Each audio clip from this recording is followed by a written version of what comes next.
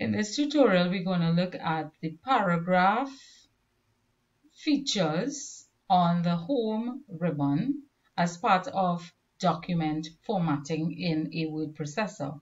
In this case, the word processor being used is Microsoft Word 2016.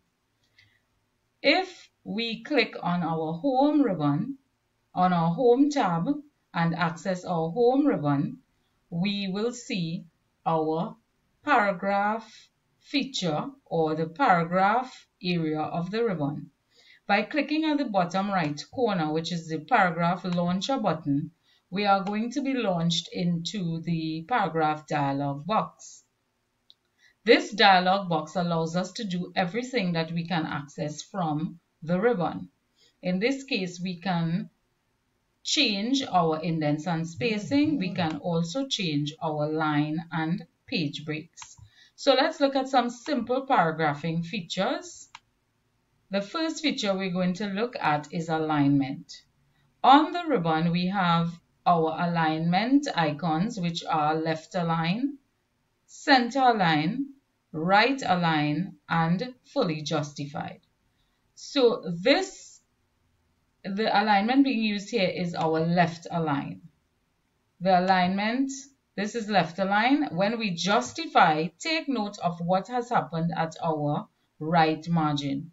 Here we can see, when compared with paragraph 2, we have a jagged right margin, but in paragraph 1, we have a right margin and a left margin that begin, that have a 1 inch left and right margin, and here our lines end evenly.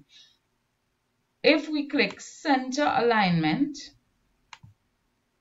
each line is centered between our left and right margin. If we click right align or right alignment, our lines are aligned to the right. So for the first paragraph, we're going to change that to a fully justified paragraph. And here we are going to look at our line spacing.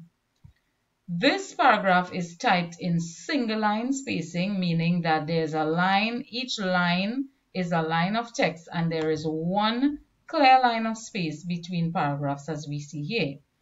If I were to change my line spacing, so let's leave paragraph 1 at single line spacing and I'm going to change paragraph 2, our line spacing, let's change it to 2 and he or double line spacing.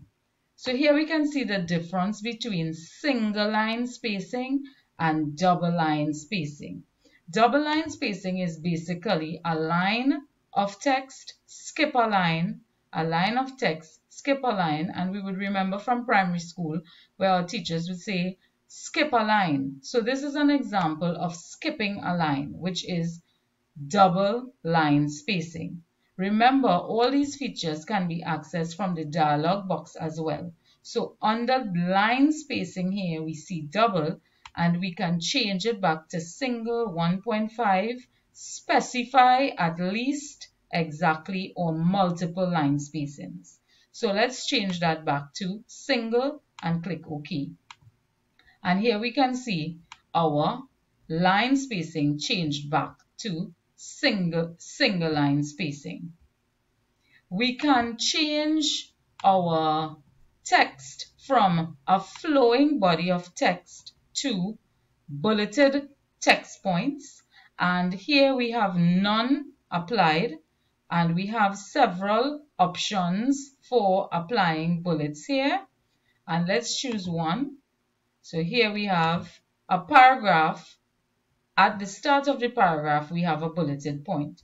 If I would like to make every line of this paragraph a bulleted point, I simply go at the start of the line and click and hit enter on my keyboard.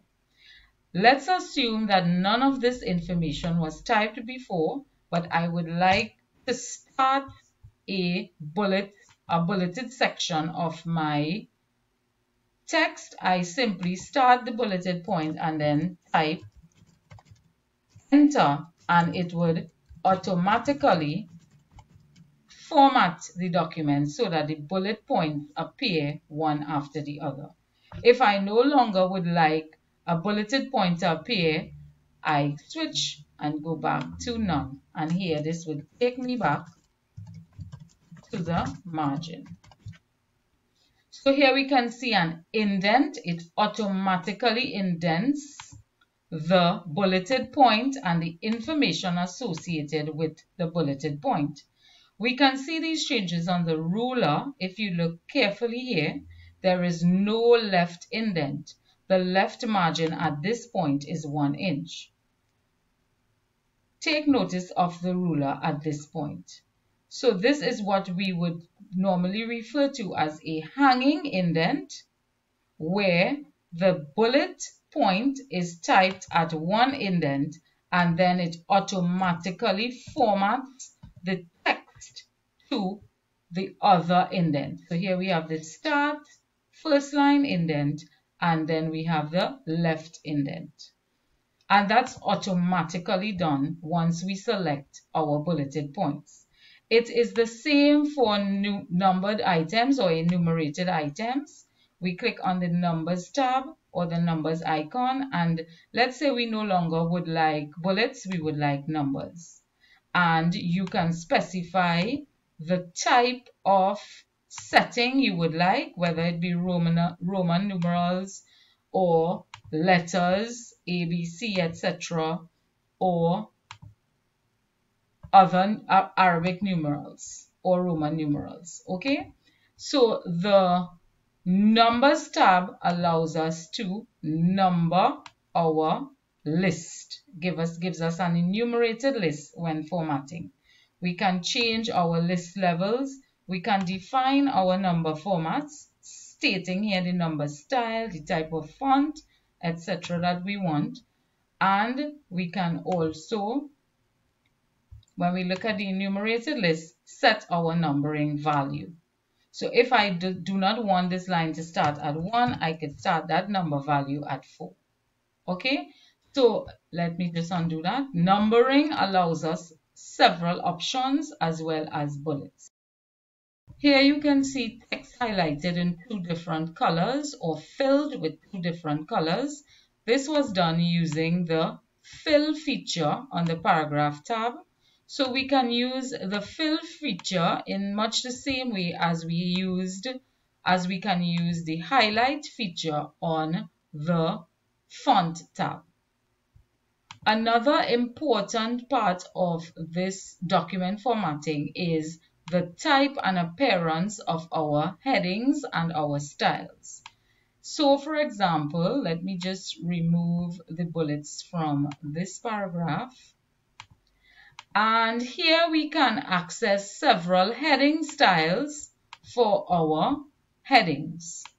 So each heading that we click on will give us the particular style of that heading as you are seeing the changes as we go along.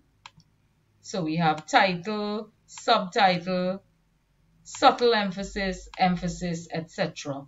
And these heading styles are important for formatting the document when we intend to create a table of contents.